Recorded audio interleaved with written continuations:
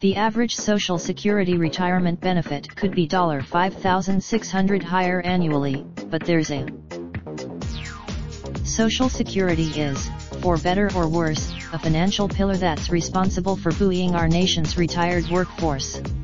Each month, but you might be surprised to find out that the average Social Security benefit paid to retirees isn't all that much money. According to data, however, this payout could be substantially higher, if one condition is met. When the Social Security Administration SSA determines your retirement benefit, it takes into account five factors. First, the, the second and third factors are your work history and earnings history. When calculating, the fourth factor taken into account is your birth year, which is what helps to determine your full retirement age FRAB. Your FRAB is the eighth. The fifth factor is arguably the most important.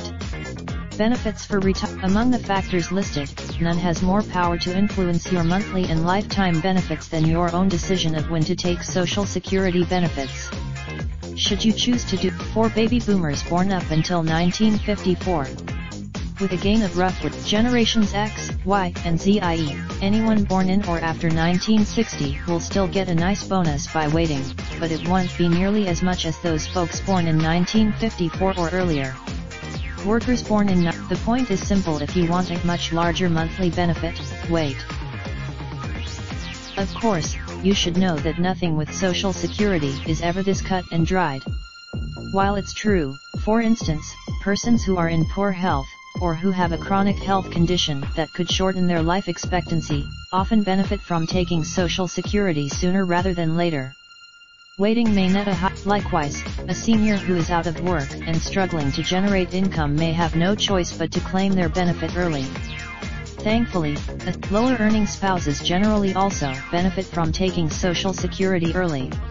Since it makes more, in other words, the average Social Security retirement benefit could easily be much higher than it is now, but waiting isn't suitable for all future beneficiaries. The Motley Fool has a sponsored the $16,728 Social Security bonus most retirees completely overlook.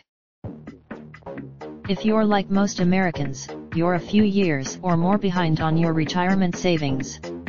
But a handful of Raindrop, drop top, top smoking, no cooking the hot pot. Fucking on your bitch, yeah, that, that, that. Looking up, open the park,